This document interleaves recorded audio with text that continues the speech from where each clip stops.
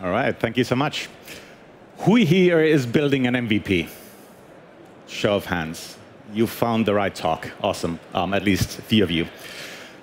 Let me preempt my um, talk with, if the clicker works, let me preempt my talk with um, the one thing I want you to take away with, which is that MVP is not one thing. Um, it might have been in 2011 one thing. Um, today, I think you need to think about it a bit differently. You think, need to think about it as more of a journey um, or a process. Um, I like the word journey, uh, journey better. Um, and to understand this, like, let's take an example of Linear, and let's take our early journey uh, from our idea to essentially launching publicly um, and getting to you know, product market fit if you don't know what Linear is, um, Linear is a uh, way of building software. Um, it's a software project management tool. Um, was founded four years ago uh, by, uh, by, by, me and two of my uh, founders, uh, Jori and Karri.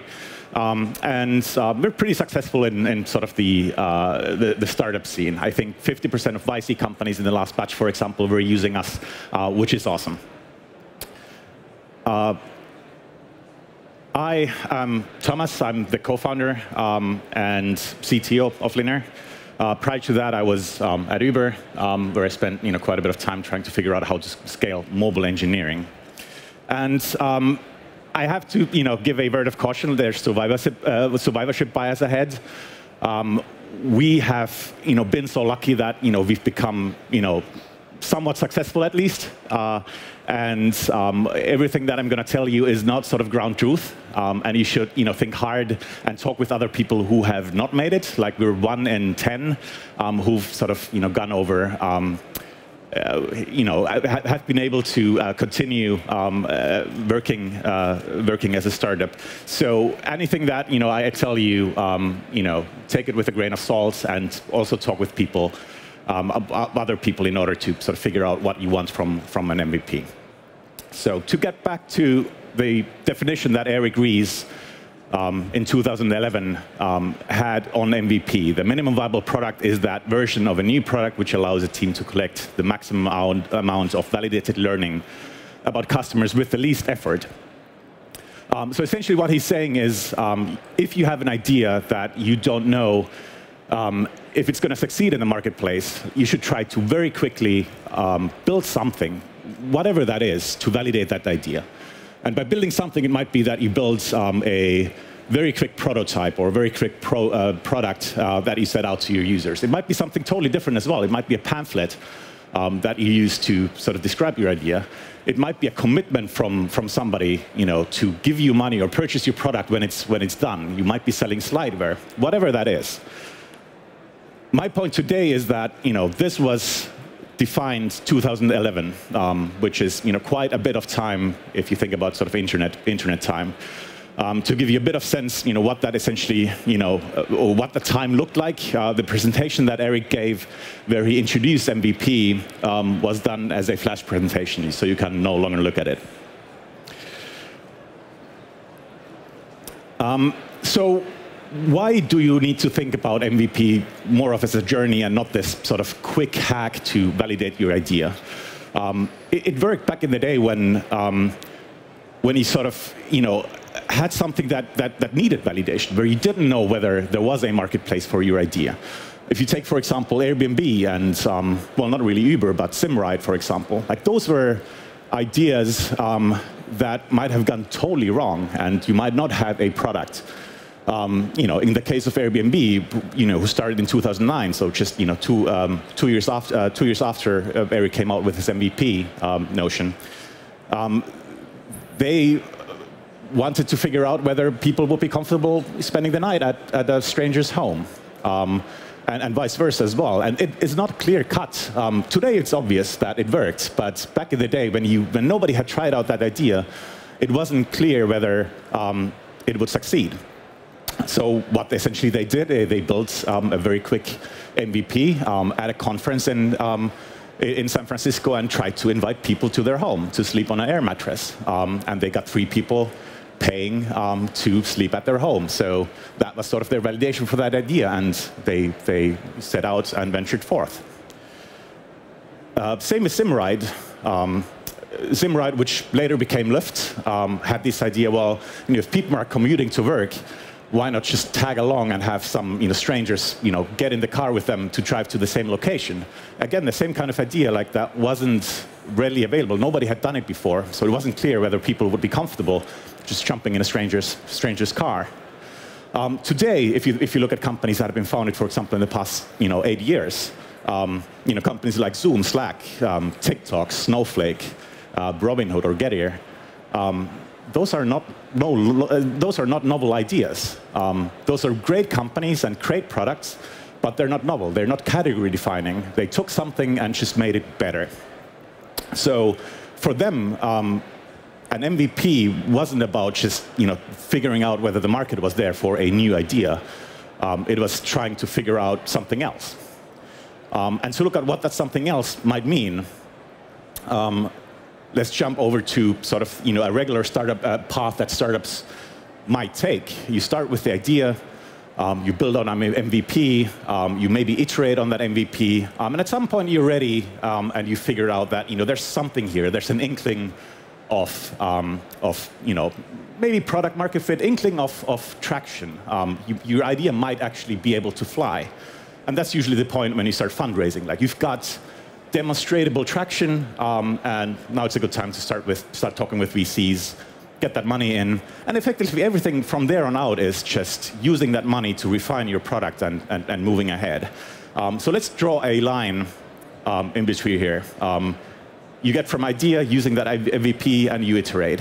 And at some point, you, you reach, through that iteration, you reach a line where you're comfortable with moving ahead, um, be it you know, fundraising, be it launching publicly, um, but at least you have an idea of an inkling of, of your product being able to fit into that market. Um, and in the lack of sort of having a term for that, let me try to coin one.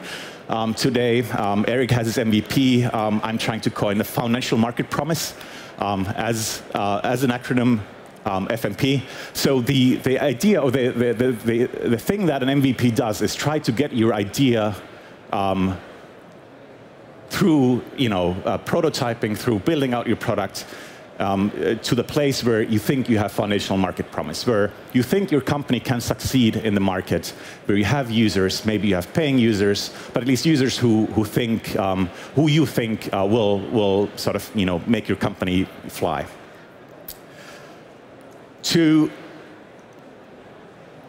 um, illustrate our journey um, and to give you sort of concrete examples what we did in this journey from this idea to this inkling of product market fit, the foundational market promise.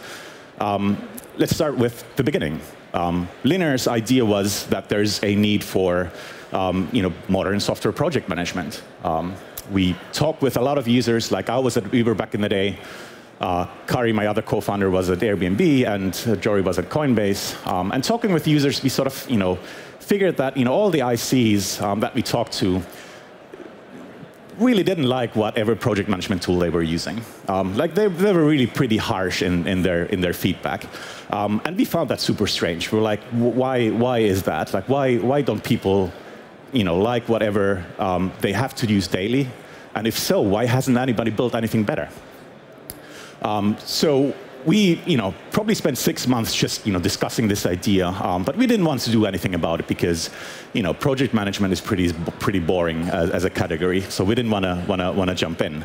Um, and it took us, you know, uh, it took us a while to understand the mission is not really to build a project management tool.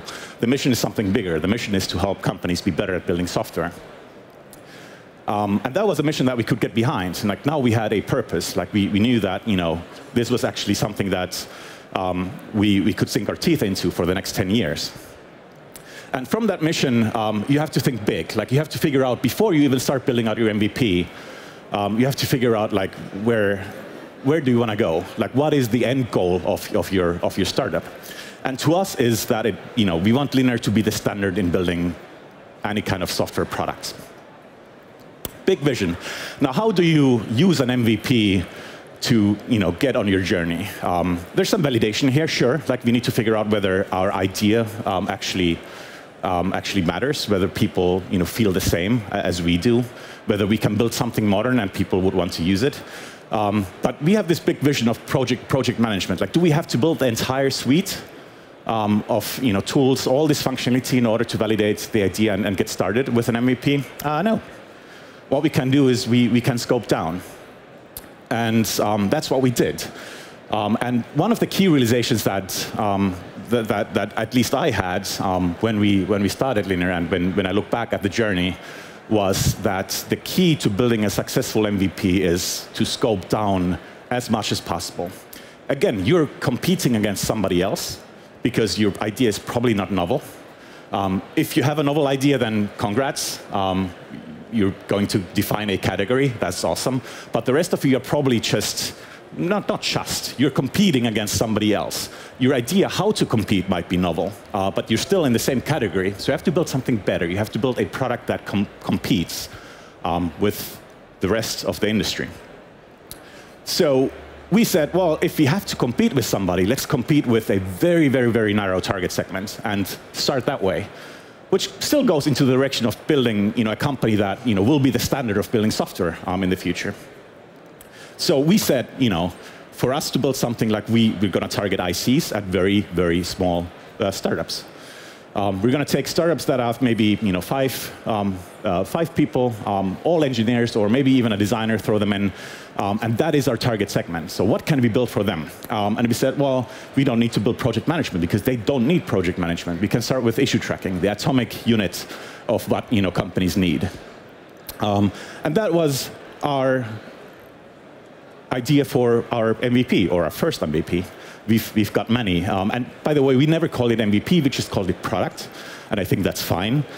Um, and we said, you know, we're going to build a fast, modern application um, that has multiplayer capabilities. Awesome. Um, so we set on our way and said, you know, from scoping down um, to prototyping, let's, you know, try to build this as quickly as possible. Um, and we built a version for ourselves. Like we had you know, uh, we had the opportunity to build something for ourselves because we were, were direct users of the product, um, which made things much easier. Um, and um, sorry, I was behind in the slides. There you go. So after we, you know, prototyped something, um, and we thought we had uh, something that, you know, might be competitive in that in a small target segment, like we started showing. Um, sorry prototyping announcement. Right. I'm sorry, I'm sorry with the slide. So after scoping down and we had a prototype that we were, we were happy with, um, we uh, you know, wanted to show it to a few friends. Um, and uh, I showed it to one and I explained, like, you know, we've got these three pillars that we built this application for. Like, we want it to be fast and we want it to be sort of modern with keyboard shortcuts and all that. And we want it to be multiplayer so that, you know, everything updates in real time. Um, and my friend came back and said, well, um, you know, whatever I'm using currently is fast enough for me. Um, and secondly, like I don't really need keyboard shortcuts like why? Um, and you know, multiplayer, I, I, don't really care. Like I can refresh the page, no, no, no problems. So I was down for like you know a minute. I was like, are we building the right thing? Like this is our MVP moment. Like we've built something, we showed it to the first user, and they just shut it down. Um, thankfully, you know, I went ahead um, and showed it to a few few others, um, not friends, but you know, just other random people, and you know, I've got my confidence back and said, you know, they they liked it um, and they were happy happy using it, and uh, you know, I, I thought we were onto onto something. So after you know the prototyping stage, when we were happy with the product itself, we did announce it. Um, and the main reason for you know, the announcement was to start building out um, a, a wait list. Um, and you know, to early validate our idea as well. So you can think the announcement as, as some sort of you know, MVP as well, um, where you sort of post a blog post about it and then see you know, what the kind of reaction um, is. And um, the purpose of the wait, wait list was to sort of start getting um, some traction uh, and getting people in line uh, to try out the product, which we'll use later to sort of refine it. Um, and then, you know, after that announcement, after we had, um, you know, uh, uh, gained some some some waitlist users, uh, we were we were ready to sort of open up for early access. And the whole point and idea of that early access and, and private beta was to utilize uh, utilize our, our waitlist um, to find that foundational market promise. So again, we were we had built something that was super small had almost no functionality. It was a sort of very basic issue tracker. Um, and we had 10,000 users lined up on our wait list. Um, and, and, the key realization that, you know, the second key realization that I had when, when, I, when I built Linear was that, you know, the waitlist really is the fuel um, that lets you refine your product and launch publicly. So you've got this small MVP, you've got this small prototype, and you've got 10,000 users. Now, literally what you do is you exchange that, you know, waitlist for a more refined product. And the way we did it is um, we we asked specific questions when people signed up to that wait list. Um, we asked things like, you know, size of the company, you know, role at the company. Um, we asked sort of what, what they were currently using or what their VCS was. Um, we only had, you know, a GitHub integration, so we want, one, didn't want to sort of have people who had something else, you know, use our product because they wouldn't get much out of it. Um, and then also, you know, why would you use Linear? Um, and this helped us sort of categorize who we let in first. Like we wanted people that were um, that probably would be comfortable using Linear uh, for at least some time. Like that were um, that where, where, we resonated, or where the where the um, initial blog post resonated with them, where they wanted something that was fast and something that was multiplayer, um, and something that had keyboard shortcuts so that we could get, gain um, some users that we could ask questions from. Like if you invite the first, uh, if, if you invite the incorrect users to use your prototype, like they will just churn away and you will learn nothing. Um, so you had to sort of handpick, and that's what did, did for the first month or so. We just literally handpicked individuals or individual companies from that wait list, invited them to Linear, and then you know, had sessions with them. We, we you know, looked at how they used Linear. Um, we talked with them. We had chats with them. Um, we had you know, Slack channels with them. And we tried to learn as much as possible. Um, and that also gave us sort of direction what to build next. And um, the, the, when when we started like when we didn't hear any any sort of requests anymore or any any comments that were new um, that was sort of a good indication for us that you know it's it's time to expand um, and it's time to invite you know more people from the wait list and maybe sort of expand that, that the target segment as well a bit. So invited a you know few larger companies in there um, saw them churn um, quite quickly um, tried to reach out and figure out like you know wh why that happened um, and again, got some ideas on, on you know, what they need um, if you want to go into the uh, larger, larger you know, target segments. And we kept on doing that. We kept on iterating on the product, building something out for the users that were there, seeing that they were happy when they had no requests anymore. We tried to invite new users from that waitlist. So effectively, over the course of a year, we exchanged our waitlist for a more refined product. Um, so our waitlist looked approximately something like this. Like we, we had you know 10,000 users at best, I think, on the wait list. And then over time, we just you know cut down on that until we got you know maybe to half of the entire wait list. And at that point, we were confident enough that we had a great product that had some foundational market promise, FMP hashtag, um, and that we were able to, you know, give it out to the world and have people just, you know, sign up um, on, on their own. So because you know the the wait list, uh, at least you know, uh, I think is the most important tool that you can have. Um, it, it, you know, we can spend some time figuring out like how to create a large wait list. Because for me, this wasn't sort of clear cut um, uh, at all, and um, I made some mistakes, you know, uh, in, in, in my prior work as well. So the, the the best way to get a big wait list is to get you know a huge social following prior to starting up. Um, we were lucky that we had Karri, who had, I don't know, 15,000 um, users on, on X. Um, and that was literally uh, the way that we got our message out there. And we got, you know, people signing up on, on our wait list. Um, what I didn't realize, like I had spent five years um, at Uber prior to this. Um, and we were working on, on stuff that was you know, pretty incredible on the mobile side. Um, and uh, I, I, should have sort of used that back in the day to sort of really, you know, get some get some following. Like I could have, you know, posted about you know the work that I do at Uber and then try to get a following of myself um, in order to sort of you know have a better initial audience. Um, and that's maybe something that you should you know think about if you um, if you're working at larger companies or even smaller companies that are doing amazing work. Um, you should use that to just gain a following. It will immensely help um, to get a, a big wait list. Um, I teamed up with Karri, who had a following already, um, which helped us, you know, get the 10,000 users. Um, you know, had a good presence as a company on social media, obviously, as well, and build it out in the open. Like, be super open about what you're building. Um, we did that from day one. Like, Um, whenever somebody asked us like, what we're what we're doing, we were open about open about it. we even you know walked people through our code uh, if they were interested, um, and just you know be a sort of good citizen in, in the startup scene. Um, and you can also get angels that can help you sort of build out um, that initial waitlist. So when do you know if your product is ready to get out of this MVP stage or MVP journey where you've taken the idea, you've built and iterated over um, your initial product using your waitlist, um, how do you know that you're ready for public launch?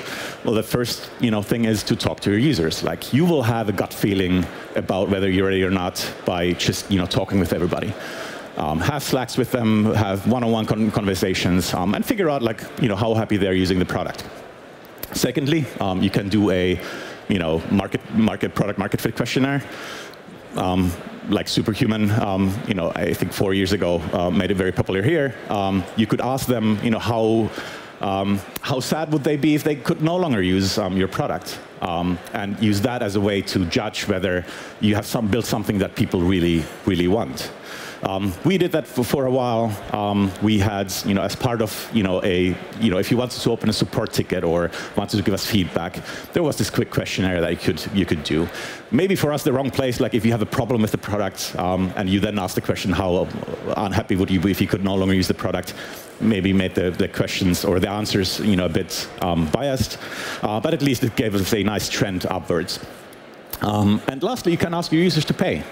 Um, that's the ultimate you know, way of figuring out whether your product is ready. If you force people to pay, um, and they do, uh, they're happy with it. But what we did before we forced them to pay, we actually um, told them that they, they can pay if they want to. They don't have to, but you know, we put up a Friends of Linear plan um, that people would you know, find in, in under settings. They, there would be a new subscription options. And we just said, like, if you subscribe to this plan, I think it was you know, 10, uh, $10 per user uh, per month, um, we're going to be friends forever, and we're going to appreciate you. Um, and people did. People signed up for that without really getting any benefit out of it. So that gave us the confidence that you know, we're really ready to open it up, um, and we launched publicly. Um, and you know, then forced everybody to, uh, to subscribe to a plan. So once you're at that stage, like the MVP has served you well, and you're now sort of in, in, the, in, in the product business trying to sort of you know, find product market fit. Um, you're at the next stage. You're probably ready for funding, um, or you might have been ready for funding even earlier, and you're ready to sort of scale um, your team. So to recap, you know, what you should be thinking about when you're building an MVP. The first and most important thing that you should be doing is figuring out what your target audience is and scope it down as much as possible. If you can find sort of a handful of users that you know probably will want to use your product, that's a good starting point. Um, but make it as small as possible. Um, once you have the target audience, you need to figure out what the functionality is keeping in mind your long-term vision. Like you want to go somewhere, and you, you, need to figure out like what is a good foundation that you build upon in order to in order to get there. Um, and that's the functionality that you build for your target audience. And hopefully that's very little that you have to actually build uh, before you can sort of ship it to them. And the last thing is um, that is often mis, you know, forgotten when you talk about MVPs is quality. Um, like one of the main points um, that I hope I, I made today is that you're, you're competing um, with somebody because your idea is most likely not novel. So you need to have a competitive product, and usually that means building a real high quality product as well. Um, if you don't like if you're in the space where you don't um, where you have a novel idea then you know you don't even know if you, there's a target audience and then probably quality doesn't really matter but most of you will, will be there so let's try to redefine um, what MVP stands for, you know, using, using what I've said today. So to me, it is sort of the minimum effort um, required to build a competitive uh, product that is viable to a specific selected target audience. So a few takeaways.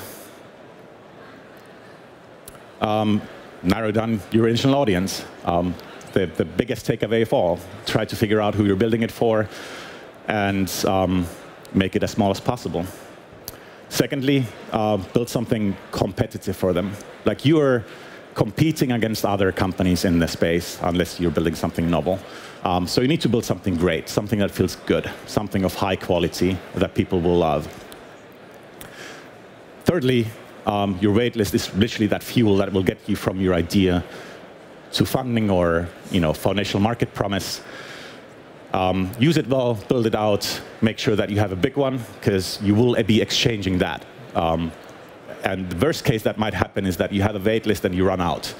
Like you are halfway through, and then you've got nobody on that wait list. Um, now I have a real problem. I don't know how to solve that. And lastly, um, do not trust your friends when they tell you that you've got a shitty product. Um, thanks.